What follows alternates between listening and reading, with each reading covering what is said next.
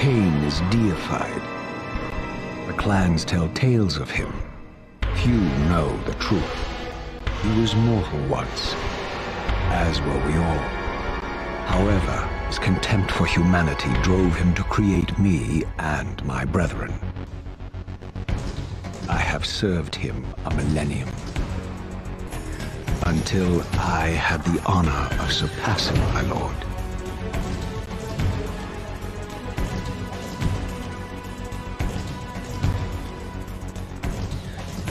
For my transgression, I earned a new kind of reward. Agony.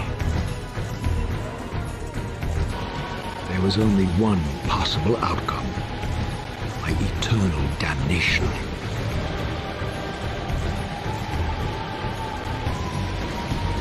Cast him in.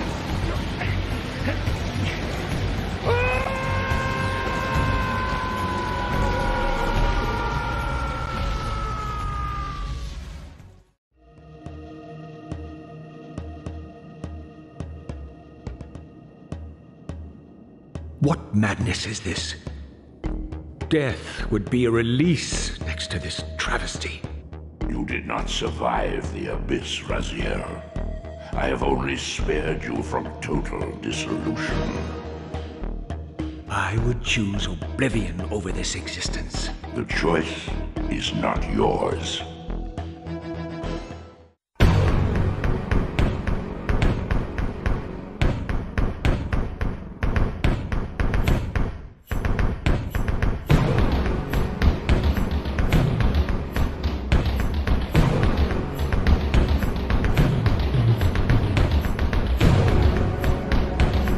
Raziel, Kain! the Abyss has been unkind. What have you done with my clan, degenerate? You have no right.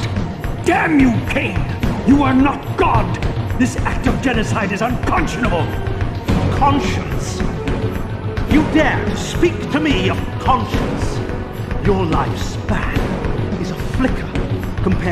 mass of doubt and regret that I have borne since Mortanius first turned me from the light. This place has outlasted its usefulness. As have you.